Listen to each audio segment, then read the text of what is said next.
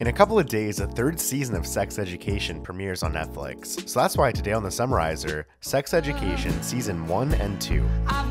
This is the story of Otis, a teenager having trouble developing his sexuality, who can't even touch himself because of the traumas his parents left him as a kid, and also because his mother, Jean, is a sex therapist who has little respect for his privacy. And in the high school, there are a lot of other characters, and they are Eric, who is Otis's best friend and is always happy except when he gets picked on by the school school bully named Adam, who also has a couple of problems with impotence and stuff like that, and he's also the son of the principal of the school. The other main character is this girl named Maeve, who sleeps with Jackson, the classic school jock, who wants to have a serious relationship with her even though Maeve doesn't want to. And finally there's Amy, who's Adam's girlfriend and also Maeve's friend. Oh, and also a bunch of secondary characters, but for now, they don't matter. What matters is that one day Otis and Maeve find Adam hiding in the toilet because he took three Viagra's, so using what he learned from listening to his mother, Otis solves all that problem with some weird therapy. Maeve then realizes that he can make some money by having Otis provide sex therapy to the school students and proposes him to run the business and be partners.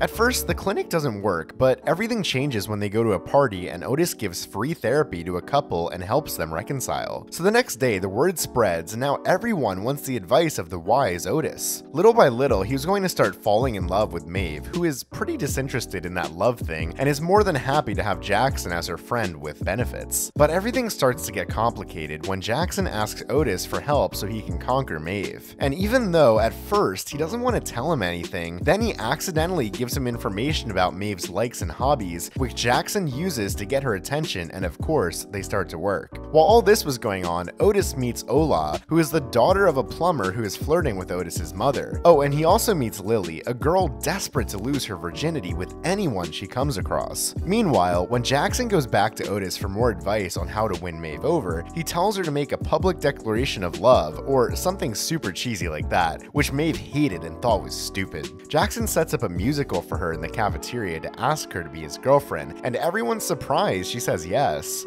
So a month passes since Jackson and Maeve became boyfriend and girlfriend. Otis has no longer worked with her at the sex clinic, and now he has free time for his friend Eric, whom he invites to see a movie. But when it's time to leave, Otis is late and Eric leaves alone, and instead of catching him on the next bus, he prefers to go with Maeve to investigate who is sending private pictures of one of the popular girls at school, who doesn't want the whole school to know that they are hers. At the end of that episode, it didn't really matter who the photos were of or who was sending them because all the girls join in saying that they were hers and ending the threat together. On the other hand, as expected, everything goes wrong on Eric's birthday. Apart from being left alone, he gets lost, his wallet is stolen, and he has to walk home. But on the way home, some guys harass him and beat him up, which makes the two friends end up arguing. After that, Otis finally decides to face his own problems and goes to look for Lily, but he can't do anything because he keeps getting flashbacks of his traumas and has a panic attack. With all these problems on top, things start start to change when he realizes that Ola is going to study at the same school, and as they get along very well, he invites her to go with him to the dance. Once there, the two couples have an awkward encounter, and when Ola asks Otis about Maeve, he tells her that she has nothing to worry about because for him, Maeve is like an unattainable lioness, and Ola is like a goat or a kitten, more at his level. Obviously, this makes Ola pretty angry, and she leaves him alone at the dance, but fortunately for him, Eric is there and they are friends again, so everyone's happy. In the middle of the dance, one of the students buys drugs from Maeve's brother and ends up wanting to kill himself because a girl doesn't like him, but Otis says a few words to calm him down and ends up saving him. Or something like that. The point is that there Maeve realizes that Otis is in love with her, and that's why Jackson tells her that he was paying Otis to tell him what he had to do to win her over. And all that gets Otis sent to hell for the second time that night. The next day, the school principal calls them in because he found the boys drugs and believes that this whole clinic thing is just a method to sell drugs. So Maeve accepts responsibility in her brother's place and as a result is suspended from school. On her way out, she runs into Jackson and they have a fight, ending their relationship once and for all. Meanwhile, Eric continues to deal with Adam, who keeps bothering him every time he can until Eric gets fed up and they start a mini fight that makes them end up kissing. And after that, they flirt between classes, but Adam gets sent to a military school. Later, Otis reconciles with his friends. For that, he writes a letter to Maeve asking for forgiveness and making her realize that she actually likes Otis too. But he also apologizes to Ola for the way he compared her to Maeve and tells her that he does like her. So they end up kissing, but just at that moment, Maeve was coming to visit Otis and finds them in the middle of a kiss. When Ola leaves, she leaves Otis harder than a rock, and he has no choice but to do something that I can't tell you for the first time in his life, leaving all his traumas behind. And so ends the first season of Sex Education. But the story continues in season 2. It all starts with Otis, who now has finally been able to overcome his problem from the previous season, but what he can't do is to do it with Ola, because every time they try, it doesn't work. And on top of that, to make it worse, Otis's mother and Ola's father start dating. Maeve starts working in a shopping mall, but soon things start to get complicated when her mom comes back into her life with her new half-sister. She also has a new neighbor named Isaac, who is the most hated character of the whole season. On the other hand, Eric finds out that Adam is no longer going going back to school because he's going to stay in the militarized school. And at the same time, a new guy named Rahim arrives at school and quickly starts hitting on Eric. So they start dating, but everything gets complicated because Adam doesn't last at all at the military school and ends up going back to high school. So Eric will have to choose between the two. Meanwhile, at Otis's house, the situation is pretty complicated because Ola's dad is very annoying and Jean can't stand him. But the important thing about Otis's mom is that she is invited to participate participate in a sex education program at school, and as she is a professional, she starts stealing clients from Otis's clinic. The relationship between Otis and Ola also continues to be difficult because although they try several times, Otis can't do it, and because as Maeve managed to be accepted back into the school, they spend time competing for Otis. Yes, because Maeve realized that she is still in love with him.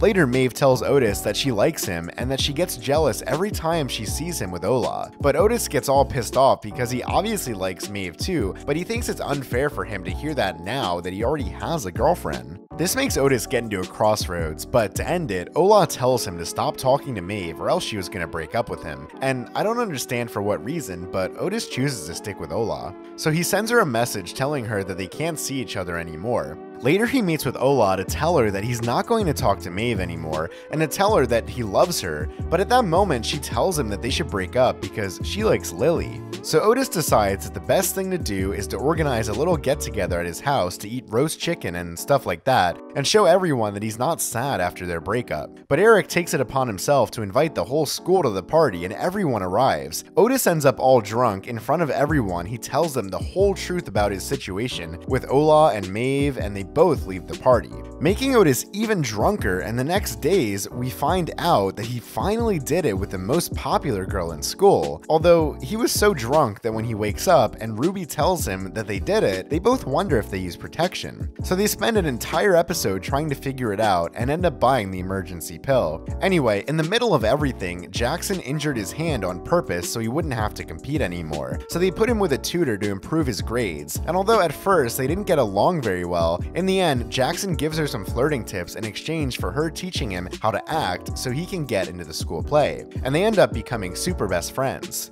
In another story, Amy was going to school very quietly when a guy harasses her on the bus. At first, she doesn't mind, but then she doesn't want to take the bus for fear of meeting this guy again. This experience helps the girls realize that something they unfortunately all share in common is that they have all been harassed, which brings them together and they support Amy so that she can go to school again without fear. In another story, the school's principal's wife tells Otis's mother about her marital problems. Jean gives her advice, and since her husband is unwilling willing to cooperate, she asks for a divorce, and after that, the two women become super best friends. But since the principal thinks it's Jean's fault for his wife leaving him, he steals her notebook where she had written down all the sexuality talks that she had had with the students. He makes copies and pastes them all over the school, using this as a pretense to fire her. And speaking of Jean, she starts having problems with Ola's father because she was used to being alone and he is too suffocating. And then her ex-husband Otis's dad shows up and after a few drinks, they kiss. Enough reason for her partner to break up and to find out that she is pregnant. Anyway,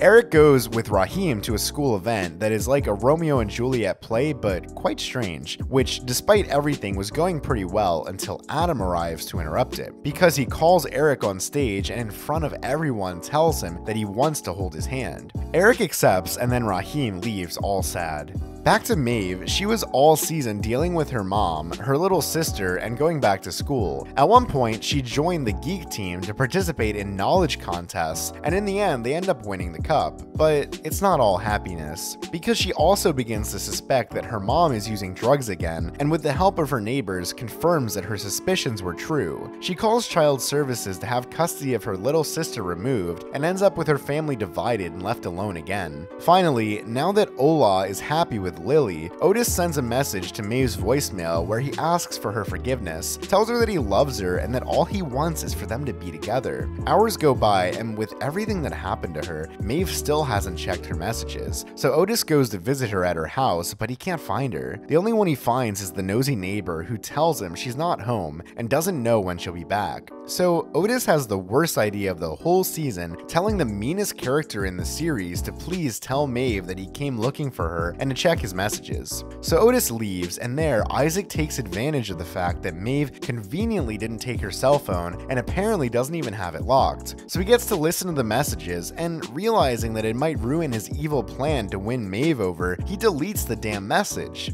And so ends the second season of Sex Education. That was season 1 and 2 of Sex Education. Comment which series or movie you'd like me to summarize for future videos. See you later. Go to work. Okay. Bye.